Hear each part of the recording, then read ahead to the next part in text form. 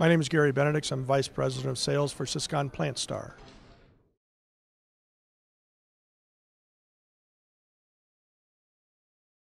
Our company does real-time factory data collection to provide information from the machinery back up to the management level to make real-time decisions.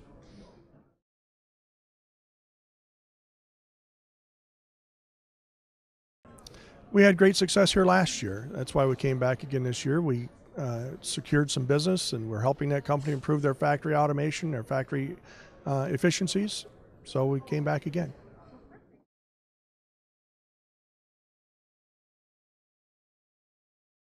Our experience at this summit has been fantastic. The delegates that come have very well defined objectives that they're looking for to improve their factory operations, and we're able to meet some of those needs.